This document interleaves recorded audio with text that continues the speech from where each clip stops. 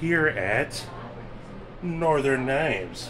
While I'm in town uh, in Anchorage for work, and uh, they said they'd give me a little shop tour. So this is My name's Dan. Dan. Welcome in, Northern. Yeah.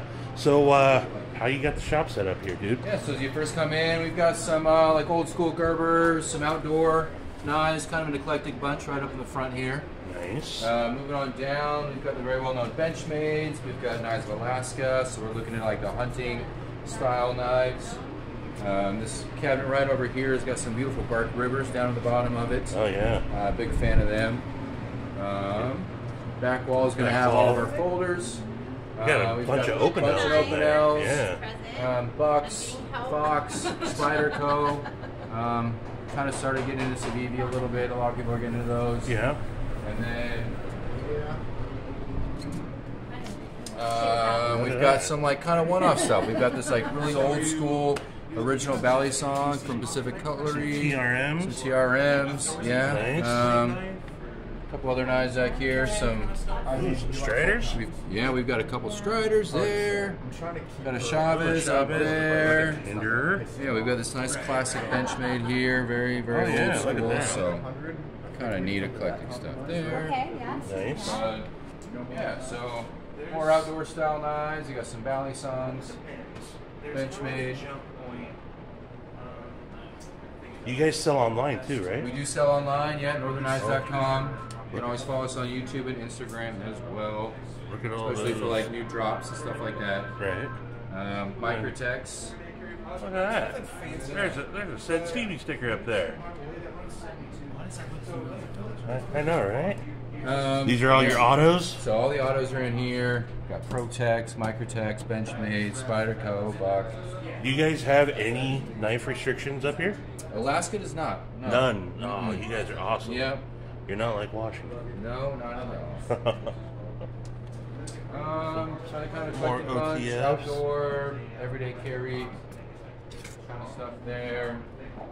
Um, here's some really neat stuff in here. We've got a bunch of knives from Medford oh yeah. look in at Oregon down there. Some nice hefty guys. We've got this Shot Show exclusive. Ooh, look at that one. Yeah, Demko with the t- Timascus. We've got some of these uh, subhuman piece of shits from uh, from Half Face Blades. Yeah, a bunch of neat knives in here as well. turn. Yeah. Nice. Uh, another neat piece down Some axes. You got a bunch. That. So we got the throwing hatchets there, and if you look behind you, we've got all of our hatchets and axes on. Oh, okay. there. There you go. So, Gotcha. Tons of good stuff. Yup. These are. Karambits, tactical, miscellaneous.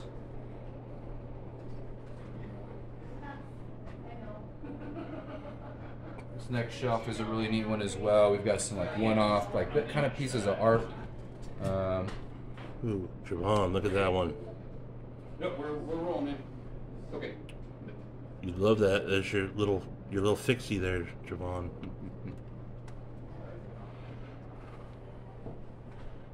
These some local handmaids. um, no, they're just blanks that are ready for like Ah, hobbyists and so forth. They gotcha. want to you know, kind of put something together for themselves. Maybe they have some wood Okay, or nailer or something gotcha. they want to. You guys do that stuff in house? We can, yeah. Yeah. Okay. So, William Henry's. Yeah. Holy moly. The half face blades, those are hot right now. Right. Nice. Some whalebone. Is that what that is? Yeah, so Whale whalebone bone. bird blade, and then a, I think that's a black bear right there. Boom. Dogs don't like that. Um, so Northern Knives, we do make our own knives. So there's Oh, you uh, do? Yeah, Okay. got assortment of different things, but right now we've got going this Fuko, which is like a Scandinavian grind style kind of outdoor craft knife. It's an N690 steel. N690. Nice. Leather kydex. Next case is the same. It's going to be our like bush style knife. It's called the Amok, and that is an Elmax. Oh, this guy here? Yeah, Wow, that's wicked. Can I see that? absolutely.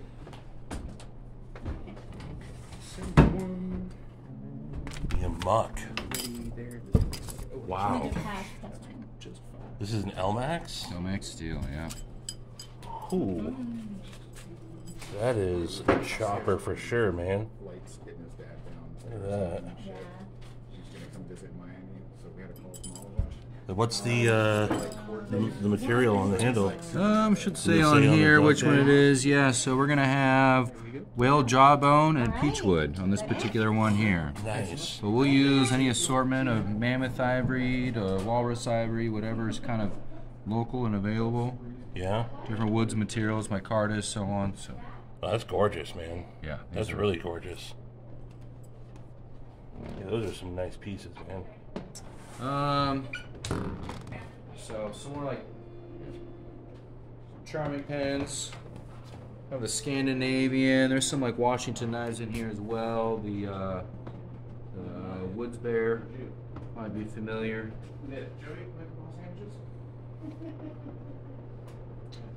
These last two cases are kind of special. So everything in this case and the following case are all going to be made here in Alaska. Oh, okay. Um, so um, they're all local makers.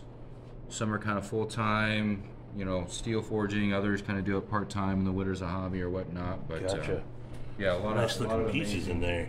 Yeah, so different kinds of Damascus, tool steel. Some are forged, you know, 1095 or 5160 or whatnot. But Very nice. Very nice. This is all local stuff This here all too. local stuff in here too. Yeah. So like David Ball and Mark Couch and Trevor Barrett and a whole bunch of others. Nice. that are all, yeah.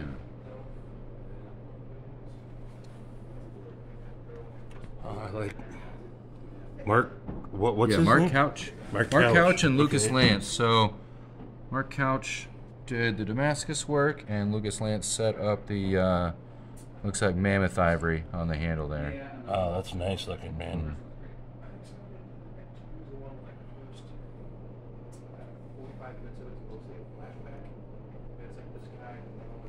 What's the? guy see that one next to it? Actually, Of course. that. That's a. I like that one.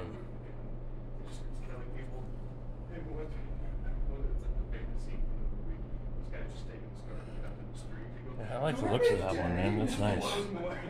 Cool. And yeah, you guys got a shit ton of hatchets. Axe. Yeah. So Gränsfors, Holtzbrook,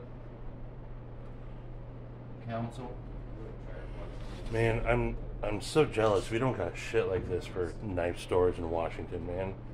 We got like Cabela's and stuff. Yeah, yeah. I mean that's kind of And- just about everywhere too. I, I lived in Colorado for some time, and same thing. If you wanted a knife, you went down to Sportsman's or something like that. Yeah, and then this is just your kitchen cutlery. Yeah, a bunch of kitchen knives, like Japanese and German made as well. Nice. A little bit of custom stuff shows up here every once in a while, but Okay. no. Well, uh, we have reached the end of the line, folks. I am now actually going to go look for uh, something for myself. I think I might have saw a couple things. So, Ulus down there, That's kind of neat too. oh, are these made locally here? They are, yeah. Sun bleached caribou. That is sun You think. Alaska knife? That's the quintessential. Yeah. Good for everything from filleting fish, to skinning Right. moose, to chopping vegetables in the kitchen. It's Yeah, those are nice, man. Those are extremely nice. There's a walrus rib bone with like different end caps of ivory and bone. Uh huh. Oh. Nice. But yeah, Cool. Well, I appreciate it, man. Yeah. And uh, yeah, I'm gonna take a gander around. Uh, I think I might saw a couple of things over here, but anywho, appreciate you folks uh, following along. And until the next one, deuces. Deuces.